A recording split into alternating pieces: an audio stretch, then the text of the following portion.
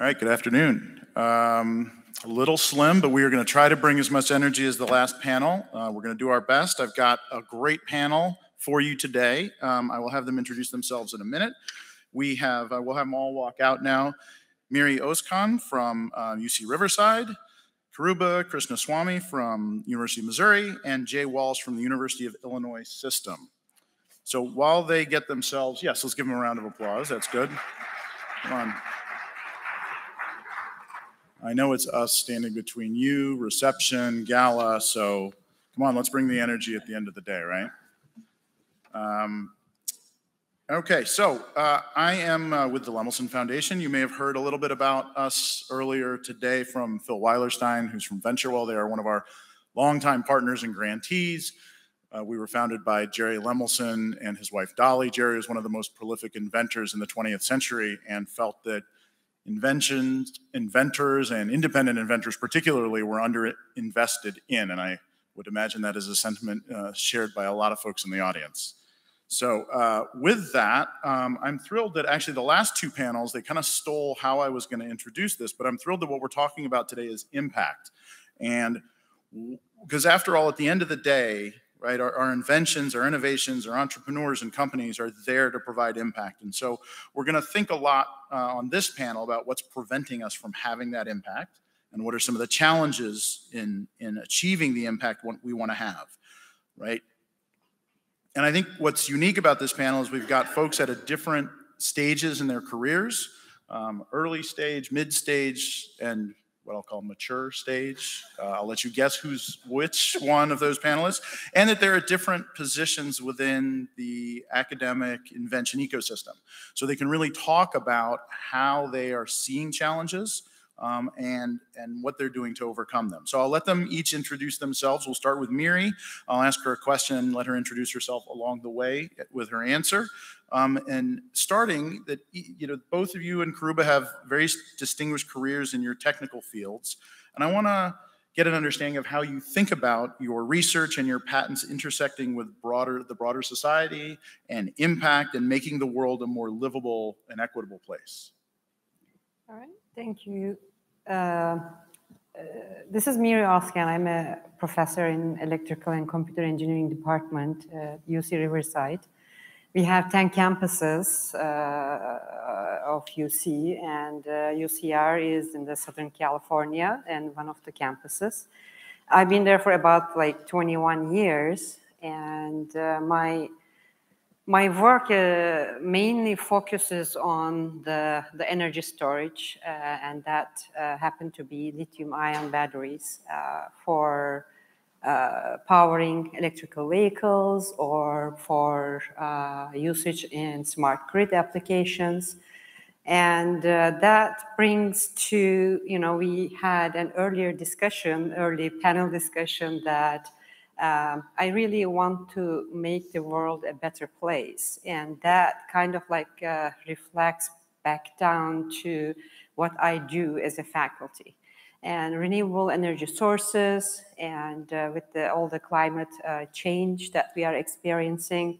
And uh, so for mitigation uh, for the carbon dioxide and how we can remove the carbon dioxide from the atmosphere and even in the processes when we are preparing our batteries. So, so those are the points that I also take in uh, to to make the way that we are making the batteries in a better way and sustainable uh, for example uh, material systems because we have shortage in minerals that makes uh, the lithium ion batteries today because of the huge demand. The, not just on the lithium but like for example cobalt magnesium and uh, manganese and, and others are also a questionable uh, situation at this point with the increasing demand with the EVs and all the others that I mentioned.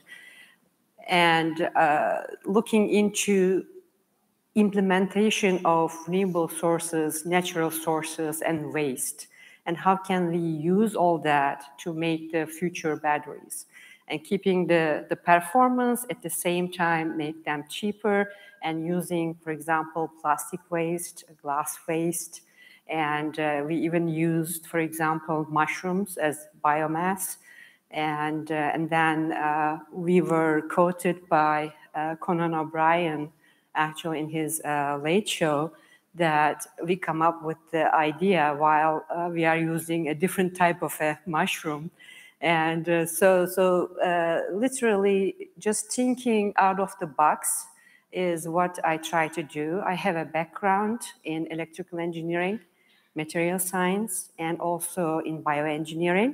And I try to keep all the views when I am trying to attack to a problem. I know that this was a long introduction, but kind of like explains uh, that uh, what is important for me and why I am here as an inventor. Thank you, Mary. And I think you have a, a background similar to many of the others I've heard talking about today about that interdisciplinary approach. And Kiruba, you also have a joint uh, appointment with the College of Engineering and also the College of Agriculture, Food and Natural Resources. So, so similarly to many others here, the, the field of invention encompasses that interdisciplinary nature. So same question to you. How do you think about your research and, and uh, in the broader context of society? Thanks, Rob. Uh, good, good afternoon, everyone. I'm Kiruba Krishnaswamy. And uh, I do have a joint appointment into colleges, College of Engineering in the Department of Biomedical, Biological, Chemical Engineering. And in the College of Agriculture, it's in the Division of Food, Nutrition, and Exercise Sciences. So my area of research focuses on sustainable food systems engineering. So on one side of this uh, challenge that we're addressing, around 2 billion people on this planet are affected by hidden hunger, that is due to micronutrient deficiencies. On the other hand, we waste around 1.3 billion tons of edible food that goes waste as annually. Like waste is a terminology that's created by humans. In nature, there's uh, that there's nothing called waste. Everything transforms into something useful. So the question you're asking is, can we learn from nature? And if we can transform this thing called waste, it'll not be called as waste, but rather raw materials for a processing. So that could be transformed into food that can feed the people who are in need. So that's the whole idea of our research. And most of our innovations are uh, towards that particular question. Can we convert this into something that can meet the needs of the people? And in the ecosystem, the innovation ecosystem where I sit, I sit in a place where I have interactions with students, innovation teams, and I'm a uh, junior faculty. So, so that's where I sit in the ecosystem and learn about innovation. So. Great, thank you, Kiruba. Um, so Jay, you, um, you're the vice president not just of one campus, but you're responsible for the whole system, University of Illinois system. Um, talk a little bit about the work you do, um, how it supports uh, both not only the economy of Illinois, but also solves critical social and environmental problems. Uh, thanks, and it's good to be the mature person on this because um, the alternative wouldn't have me here. Um, so I'm the Vice President for Economic Development Innovation for the University of Illinois System. That system is three universities, Chicago, Springfield, and Urbana-Champaign. I'm also a faculty member in bioengineering, uh, background in optics. Uh, early on did laser technologies. Somebody here also did that with eyes, um, and uh, Dr. Wynn and uh, then moved over to diagnostics during the during COVID. We did diagnostics for uh, SARS-CoV-2, uh, developed the test. I led the clinical trials for that test, uh, got F FDA EUA on that, and started two companies um, during that time period. Um, one of them maxed out at 1,000 people, testing uh, 2 million of our, the students in the state of Illinois. So economic impact for us meant getting kids back into school. Um, so that's why uh, they kind of threw it to me to figure out how to do this. Uh, so that gives you a little bit of sense of my background. I also oversee a network of innovation uh, hubs across the state of Illinois. So there's 12 public universities. They're each part of a hub of the Illinois Innovation Network. Um, four of those are minority serving institutions. Um, 10 of them are R2s and two of them are R1s, the one in Chicago and in Urbana-Champaign. Uh, so, you know, this is, uh, this is trying to leverage strengths uh, in rural regions of the state uh, and in urban regions uh, of the city of Chicago for the most part. Uh, and uh, you know, trying to take the, the technologies that are being developed at each of these universities and moving them forward. Uh, previous life, I've been at University of Illinois for two years. I was 12 years as the vice president for research at Northwestern, where I was also a faculty member, and very different being at a private, uh, being at a public now versus being in a private. We can have a longer conversation about that. Uh, each of those also has its uh, unique fo focuses and therefore strengths. Um, in the current position, this is a this is trying to leverage the significant investment that the state of Illinois and each of you lives in a state and each of your states is putting significant investment into higher education and uh, really trying to take those ideas that are uh, coming out of those institutions and bring them forward to society. Um, I also oversee the tech transfer offices for the across the whole system, so at each of those universities. And I oversee a venture capital group that we started quite a few years ago. Uh, we're in our fourth round of, uh, funding that we're, we're starting up. Um, largely, that venture capital group uh, does funding in the state of Illinois. Uh, a significant amount of that is folks coming, ideas that are coming out of the major universities. Uh, and the idea is to generate companies from that technology, provide initial funding so that we can move them through some sort of valley of death, and get of subsequent seed funding for those. Um, but as I said, it's a venture capital group. It's not the initial seed group, so uh, they have to actually be a little further along those companies uh, as we move forward. Um, so you know, those are the those are the levers that I have uh, that I'm pulling and uh, trying to to move technologies uh, across the whole state, in the cities, in the rural regions, um, and we can get into more detail if you wish. Great, thanks, Jay. And, and as uh, as I sort of mentioned at the outset, each of you sit at a kind of different place within the ecosystem and have different challenges. And so now, getting really into the meat of the panel, it's I'd like each of the panelists to think about and comment on um, how you see innovation in, originating in the academic setting, and what are the challenges to getting that innovation and invention to impact and as we talked a little bit at, uh, you know, in the green room before, you can complain for a little bit, but then you got to come forth with a couple of thoughts around solutions and, and how can we help fix that process? Should I go first? You, whoever would like to. And uh, I think what I would like to say is that uh, this is my quote, by the way. It's uh, it takes a village actually to raise an inventor. And uh, for 21 years that I've been in UC Riverside, and uh, I would like to share my experience. Yesterday, uh, from USPT office, Paul said that you know sharing your experiences, I think, is a good way to moving forward, and that's what I am going to do. Uh, when I first joined to UC Riverside uh, as a faculty uh, assistant professor, and uh, after the first year, I started inventing. And, uh, and I wanted to file this uh, invention disclosure.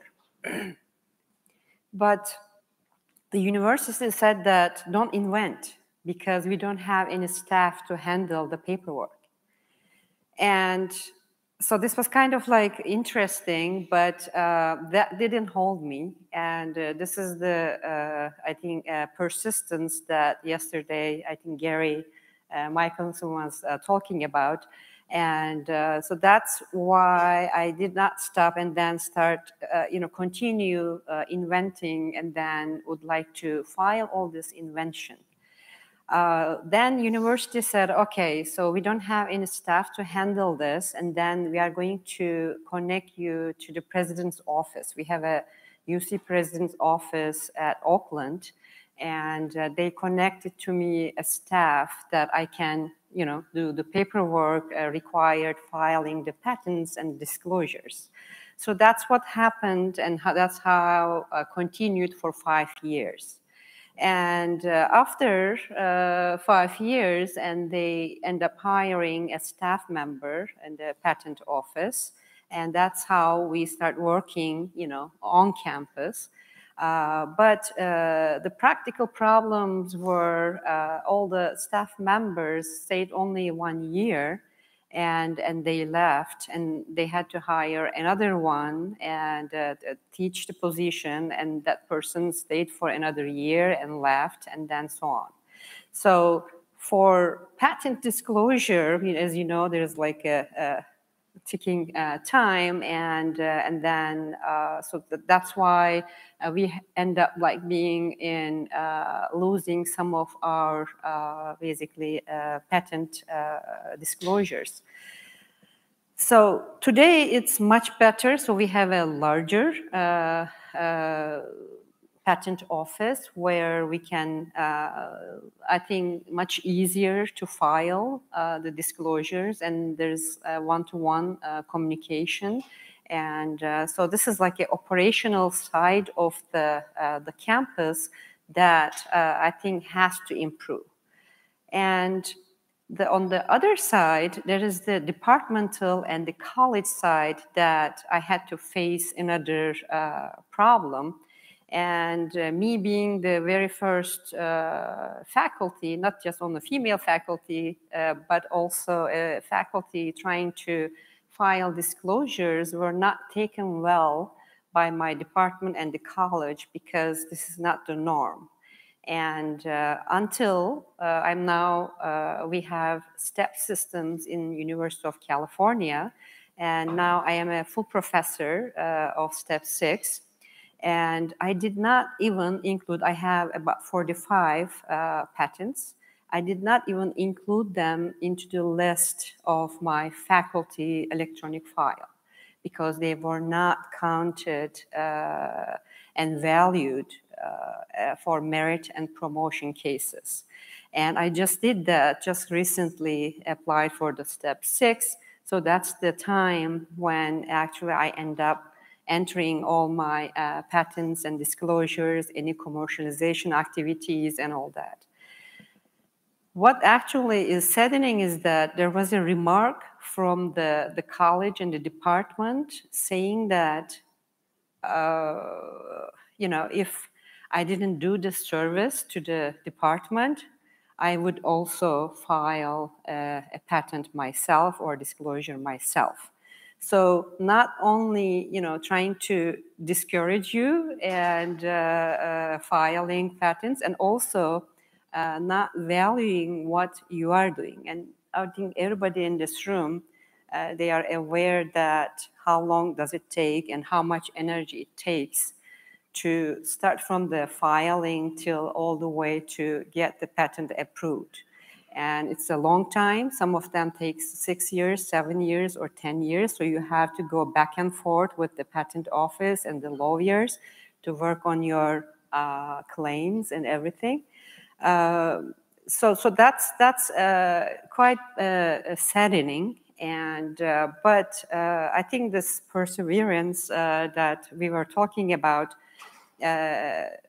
I don't think this this was like me being a female faculty and then have more uh, patents than anyone in the college uh, is the is the point. But uh, again, the, the cultural difference, the cultural difference that uh, actually the patent uh, when we file, uh, they miss the point that university owns the patent, right? And then if this patent is going to be uh, licensed to any company or any entity and uh, any uh, benefit that is going to come is going to be to the university. I think this is a great service, but this is either not taught like that or they not uh, I, not taken by the faculty as that uh, so becoming like more classical, I guess. So, so that's the, the fight that I have given over 21 years, but it did not stop me. And so, so that's what uh, I think, that's why I'm saying that it takes a village to uh, raise a uh, inventor.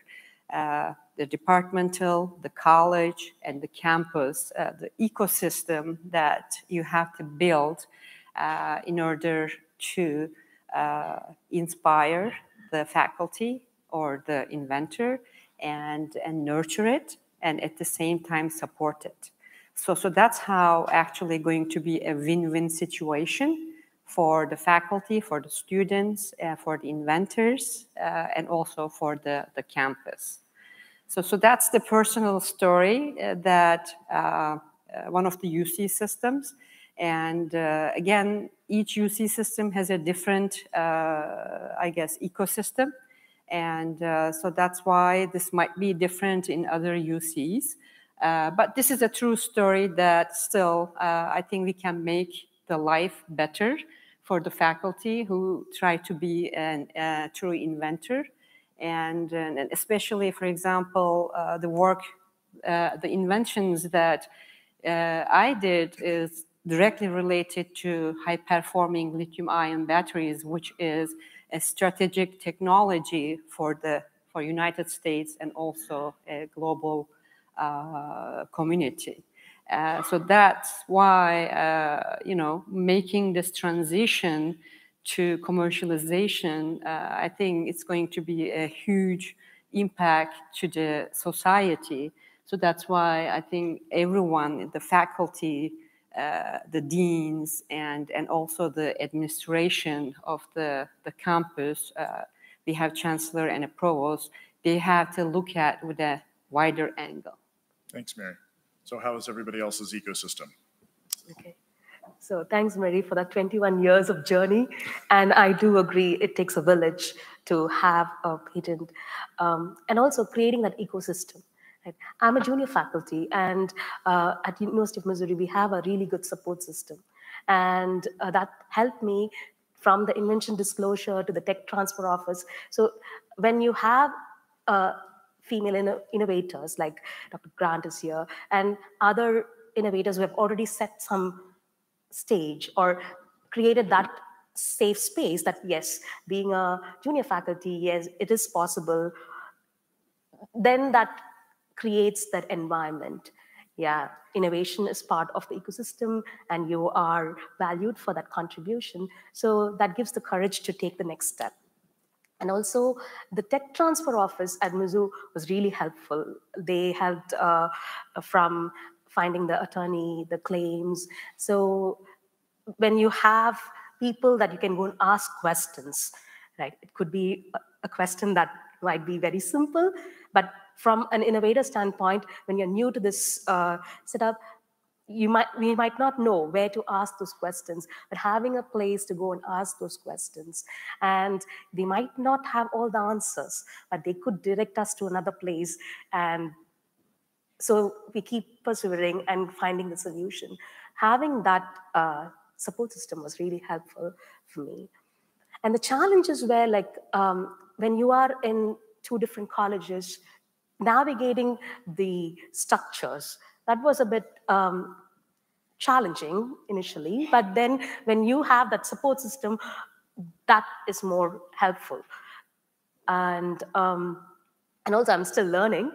And uh, another, so that's from uh, faculty, junior faculty who's trying to be uh, part of the innovation uh, ecosystem. But there's another perspective also from the students' perspective when you have innovation teams. So I get the opportunity to interact with engineering students, science students, journalists, uh, like ag students. So when you have a cohort of teams who are given challenges. In my class, I do give them challenges, mostly socially, global challenges related to food and nutrition security. And when they come up with solutions, like how do I direct them towards finding like this is the next step you have to take your technology to so that pathway when you have transdisciplinary teams that is a bit challenging and i hope we will work to get a good solution there. So uh, so thanks Kiruba and i we did not pay uh, or we did not get paid by the previous panel on the the, uh, how well tech transfer offices can work. Um, Jay, you've been in the, the tech transfer business for a long time. You now sit at, at kind of the apex of the whole system, but in your previous uh, role at Northwestern, I'm sure um, as well as you did your job and as well as you see the folks that you work with now doing their job, where are the areas for opportunities for, um, for improvement, improving that process? Yeah, um, so there, there are a number of areas. Um, Uh, so let me sort of walk through my thought process on this really quickly. Um, we all walk into situations and we have principles. Okay, and the principle with tech transfer, as you heard in the last panel, was impact. So, you know, if you invent something, come, at, come to the tech transfer office, and we're trying to figure out how to let your technology have impact. Uh, there might be a money component to that. Um, part of that impact also is how do we, you know, impact the lives of the faculty, the researchers, the students, um, and how do we impact the ecosystem that we try to develop, okay? And that all sounds great until the principles collide with each other. And you start running into challenges of the question of what if two principles run into each other? Um, so that that is a big challenge, and I'll come back to you asked for solutions. I'll, I'll tell you what we try to do, um, but this is not perfect, and I would love to hear either in question and answer or otherwise after, you know, how you approach, how you deal with conflicts with your own values and principles. Um, because frankly, that's what I see. And part of the reason I see this is the tech transfer office can handle a lot of things. When there's true challenges, then it pops up to the vice president level. And it's like, uh, Jay, you solved this problem. Okay. Um, and maybe you've run into this in your own lives. The grad students who do just fine until they can't, and then it comes to you. Um, so that's the first thing I would say is we have principles and the challenges come when they collide with each other. I was listening, okay? Having infrastructure is really important, in particular human infrastructure.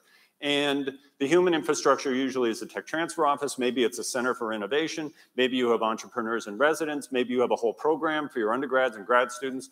Uh, raise your hand if you have a whole program for your postdocs. How many of you actually have a curriculum for your postdocs? Okay, I, I think I saw one hand go up. Okay, I, not many universities have a curriculum for a really important subset of those we train called postdocs. We bring them in, they work in a lab, but do they really have a curriculum? We're training them, we're educating them, but as educators, we don't provide. I'm looking now because I'm trying to block the sun. To, the sun, yeah. I'm an optics guy and I can't even recognize where my light's coming from. Okay, so you know there this infrastructure, and there are some universities that bring postdocs into this training process. That is really important to be able to move things along. So it's not just the faculty member who's pushing on this, it's also the grad students and the postdocs who are putting pressure on moving the technology forward. This all comes down to you need a strategy. And that has been said many times in this conference, culture is absolutely vital. And culture is really challenging. In my career, I've been in this for a while.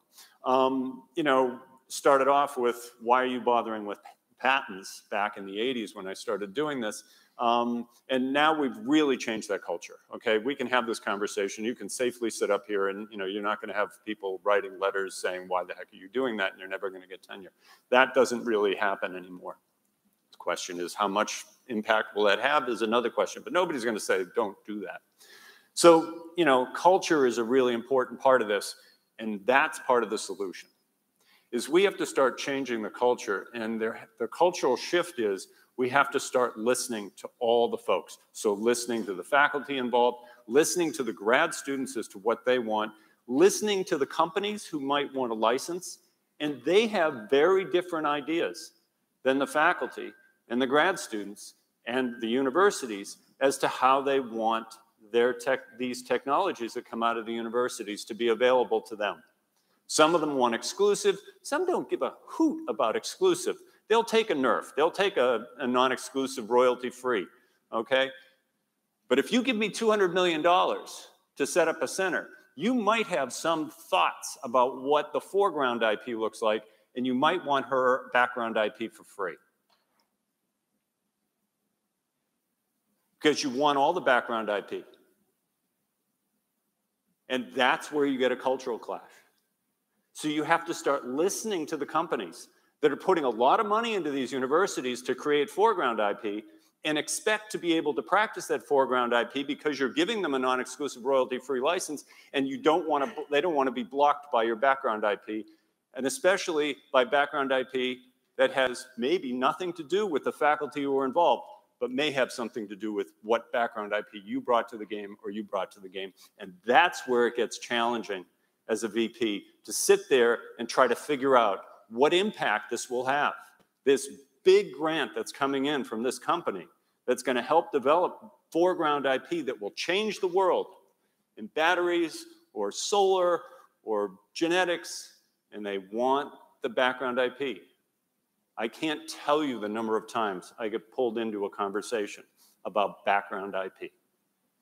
It is a real challenge. And the solution to that is to pull everybody together and really listen to people. And that's hard. It's really hard for faculty to sit there and listen how their background IP, their IP that is not licensed, that they would love to license, and they can't start a company because they can't get the money, some other company is going to come along and scoop that up for free in five years. And it happens. So that requires conversations with lots of folks, department heads who want a cut of the money, deans who want to cut. Okay, that may have lit a fire at the last session, maybe, hopefully.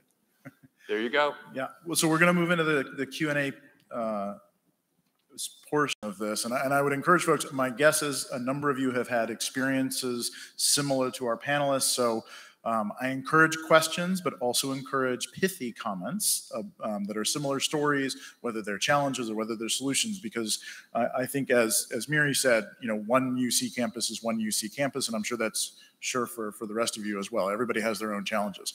As you are making, I see one over there, but as you're making your way or thinking about it, I do want to ask the panelists just one quick thing that you can think about that you would give as a suggestion to folks as they leave the conference and they go back to their universities. What one thing do you think they can do to help change the culture there? Uh, actually, earlier in the panel, so we were talking about how different the NAI is than the other uh, academies, like National Academies of Engineering and Science. I think having chapters is wonderful thing, and uh, the, because it involves both uh, students and uh, postdocs and faculty and also the staff. So I think training, it's kind of like a seed training, if you like, you know, just uh, start making uh, an impact locally is the best way uh, to change this uh, culture and thinking.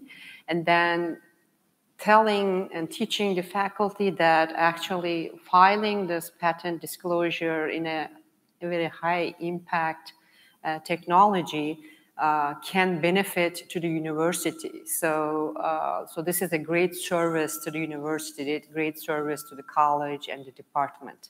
Uh, so, so that's why uh, uh, I think these chapters are like super important, and uh, I think that's that makes the NAI different than from any other national academy. Great, thanks, Kiruba.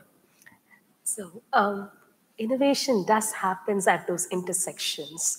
And when we have these intersections, like we'll have different perspectives, right? So as Jay said, listening is so critical because sometimes our perspectives might not meet the same idea that we have, but we could find a common ground that leads to more inclusive voices being heard and create more innovations that can have societal impacts. So listening and also opening our minds to have different perspectives.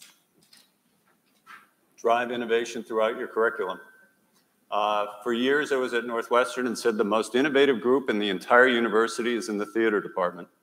We produced Charlton Heston, Julia Louis-Dreyfus, and a guy named Stephen Colbert, and that's just the beginning. And if you don't think Colbert runs a really important company that impacts the United States, you should stay up later.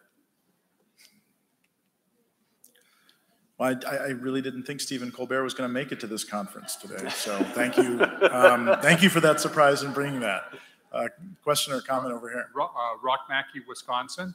Um, I found that uh, faculty are becoming a lot more interested in entrepreneurship. And in fact, Wisconsin started something called the, uh, called the Association of Campus Entrepreneurs to actually lobby for entrepreneurship. And I think some of you, I think now that I'm a member of, of this organization, uh, you know, I will try to to to vector them towards being uh, becoming a a uh, chapter uh, because especially if there's some support for campus entrepreneurship through uh, through your organization. But I think the other big thing that would change culture is to get middle management, uh, in other words, deans and chairmen, to get behind it because they're really asked to, you know, uh, you know, how many students do you have? Uh, how much indirect are you are you making? What is uh, how many how many female and minority faculty do you have? Um, and um, and what's your time to graduation? And if they're asked, in fact, in this particular case, you'd have to tell them that on, more entrepreneurs is better, not worse, right? Because some of them probably think that more entrepreneurs are worse. So, so if you if you were to add that fifth big bullet uh, to what they report uh, to the chancellor or the president uh, and the and the regents or whatever of the university, uh, I think I think numbers do matter, and and that count matters. And in fact, you know, in my institution, Wisconsin, we can't even get nobody can get the information from the conflict of interest committee because that's viewed as somehow secret information which is crazy right? It's absolutely crazy. It should be public information by definition um, and, and so so we need to change culture kind of in pieces but more disclosure including from the university is good and more information that the university provides the, the state and the citizens uh, of in public universities would be better I Great, do have a thanks. quick- I have a quick follow-up comment on that. So you're standing there and, you know, I recognize you're from Madison and, um, you know, when you had a bunch of presidents sitting up here and there's an expectation that drive change or that a vice president can drive change. You know, I've, I've sat in a position like this for a long time. Change happens at the faculty level. That's really where it's driven within a university. So, you know, there, there are a number of you, maybe even some of you who are more senior than I am, um, you have tremendous impact within a university. And, you know, so don't expect it totally from the top. You're no, it. No, we're, no, we're not. I, I don't think we are expecting it from, from the top. But, but I, th- I do think that the top uh, is the, is the only organ, uh, the chancellor or the president is the only one that can tell the, the deans what to do. And the deans are the only people that can tell the chairs what to do. So it ultimately has to come down from the top. And you can tell the president. Oh, yes. So I, we, we, and, and, you know, ACE did this all the time, the Association of Yep. Camp, uh, Campus Entrepreneurs. And maybe your, maybe your uh, chapters can do the same thing.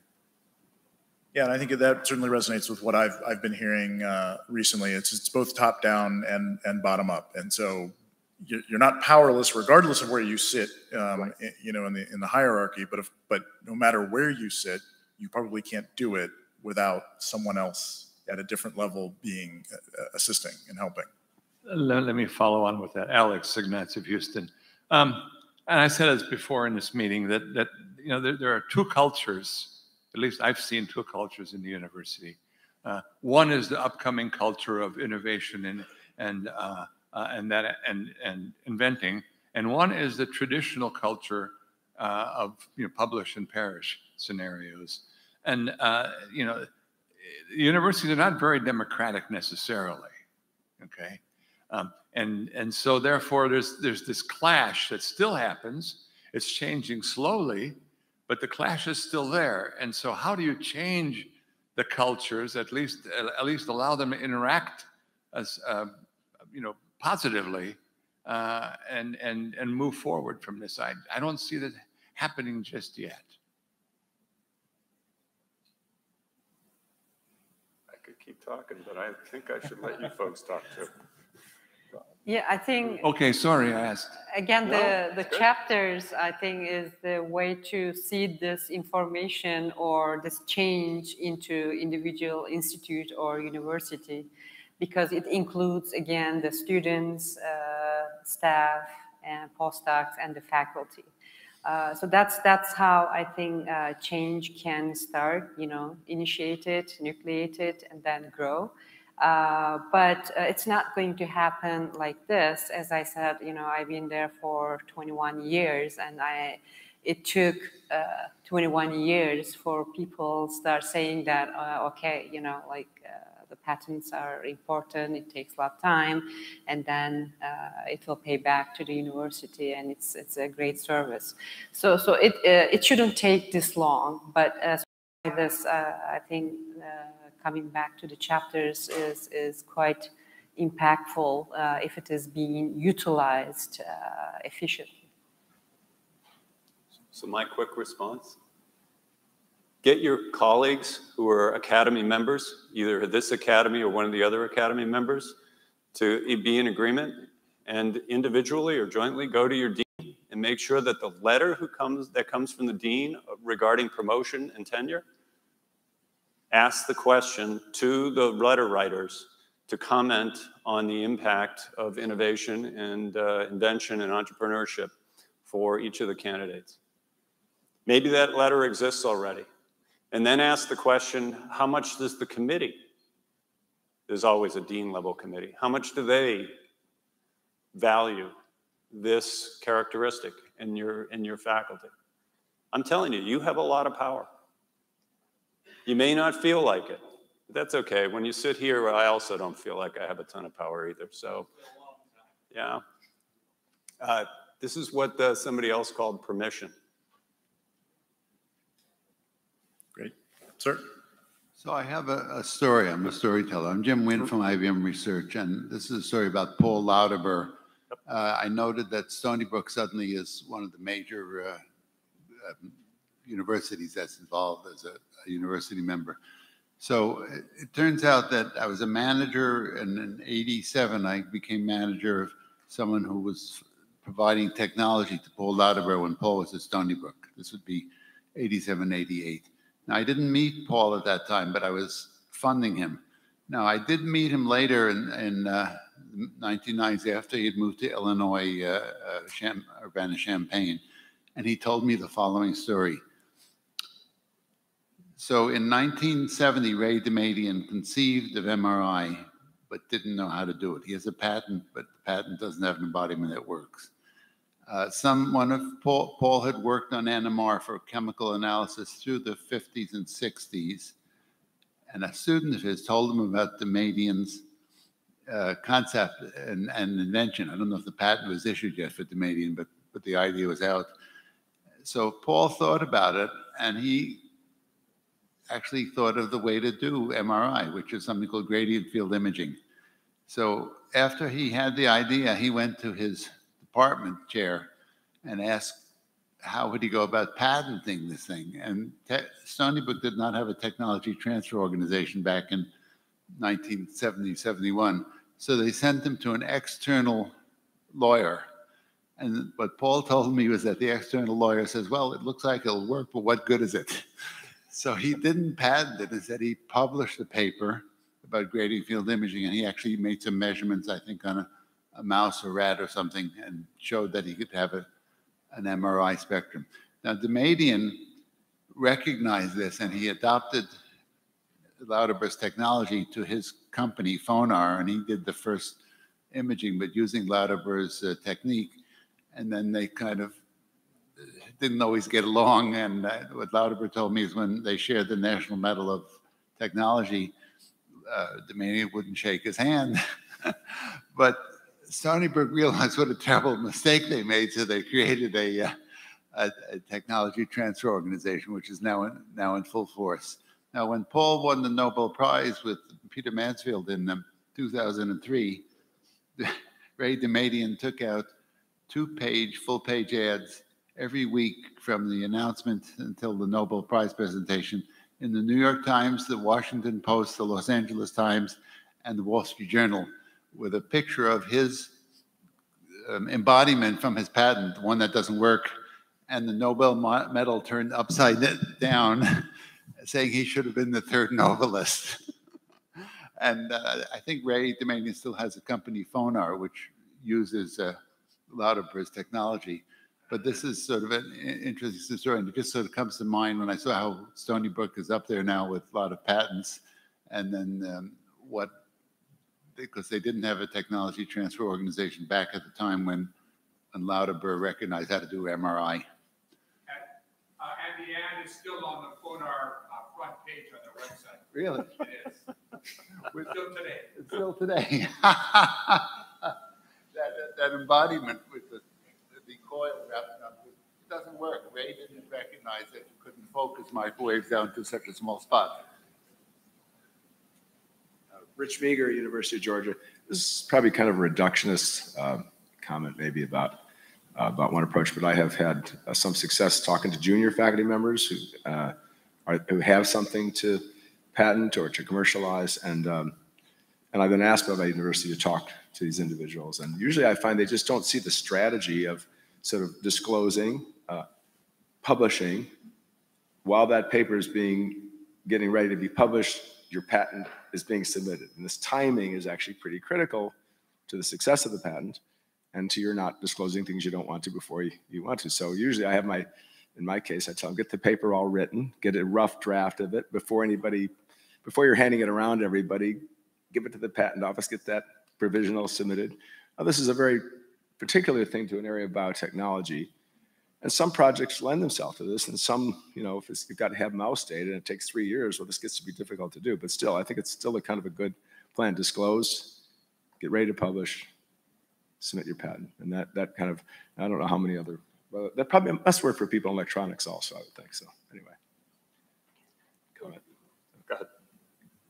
Thank you for that uh, comment. Because as a, as a junior faculty or early uh, career innovators, first question comes is, is this um, worth invention disclosure?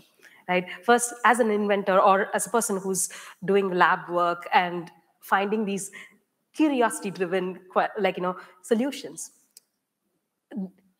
getting that past, like from uh, a personal standpoint, is this worth an invention disclosure? That itself is the first hurdle for a junior faculty. Like I'm just talking from my experience or from colleagues who are in the same age group, I would say. So then when we have these type of doubts, we had like you know there was a session with the tech transfer office and um, the Sambish, the person who's uh, amazing, he says please bring whatever invention you feel that it is worth just bring it to us have a discussion. And then we will see whether where we can find a home for this.